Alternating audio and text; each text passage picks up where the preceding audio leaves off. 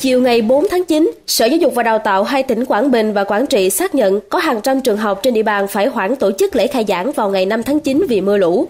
Tại Quảng Bình, gần như toàn bộ các trường từ mầm non đến trung học phổ thông nằm dọc theo sông Rào Nang và sông Danh ở huyện Minh Hóa, Tuyên Hóa đến thị xã Ba Đồn đều phải hoãn lễ khai giảng. Đến chiều ngày 4 tháng 9, nước lũ trên các sông này vẫn ở mức cao, nhiều khu dân cư bị chia cắt. Sở Giáo dục và Đào tạo tỉnh Quảng Bình cho biết có đến 130 trường trên toàn tỉnh thông báo phải hoãn khai giảng vì mưa lũ. Các trường này sẽ phải đợi đến khi nước lũ rút rồi mới tổ chức khai giảng.